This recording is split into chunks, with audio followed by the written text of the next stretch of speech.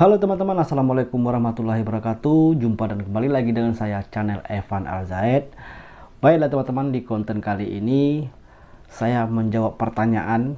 Ada salah satu pertanyaan dari teman-teman kita. Ini pertanyaannya juga uh, sangat menarik. Pertanyaan itu yaitu datangnya dari Ibu Desi.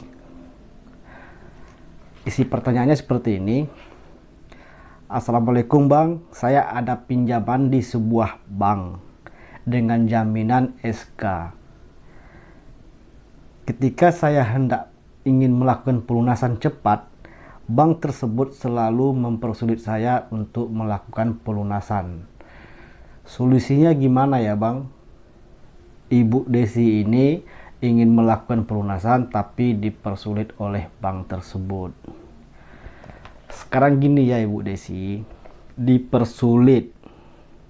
Jadi dipersulit itu ya kalau menurut saya karena bank itu adalah bisnis pasti kalau dilihat dari Ibu Desi ini menjaminkan sebuah SK pasti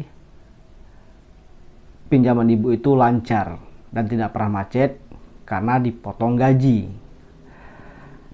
jika pinjaman ibu lancar dan bank itu adalah uh, pada dasarnya bisnis, jadi bank itu tidak mau kehilangan debiturnya atau kehilangan nasabahnya. Dan ketika ibu ingin melakukan pelunasan cepat ataupun over, pasti bank itu nggak mau, nggak rela dong nasabahnya atau debiturnya diambil oleh bank lain, karena kan bank ini kan bersaing. Namanya bank pasti pinginnya itu nasabahnya itu lebih banyak debiturnya itu lebih banyak. Bila perlu semua manusia di atau masyarakat di Indonesia ini nasabah dia semua. Mereka kan bisnis.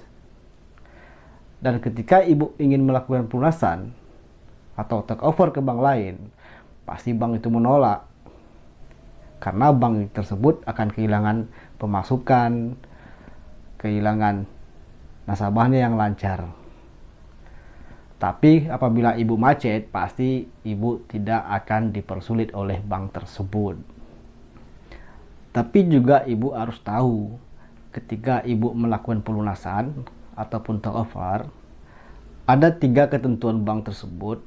Yang pertama yaitu pastinya ibu kena biaya penalti biasanya biaya penalti ini uh, bermacam-macam di setiap bank yaitu ada yang satu persen, lima persen, bahkan sampai 8 persen. Yang kedua bunga berjalan. Yang ketiga denda-denda apabila ada denda. Itu tiga itu ibu harus ketahui dulu apabila ibu ingin melakukan pelunasan. Jika dari tiga itu ibu menyanggupi atau uh, terima dengan peraturan itu atau ketentuan itu yang diberikan oleh bank, tapi bank juga selalu mempersulit banyak alasan lain, bertele-tele, ada solusinya itu agar ibu tidak dipersulit, yaitu ibu tulis atau buat surat permohonan kepada bank tersebut permohonan ingin pelunasan cepat karena pelunasan cepat itu adalah hak dari debitur ataupun nasabah, bank tidak boleh melarang-larangnya atau mempersulitnya.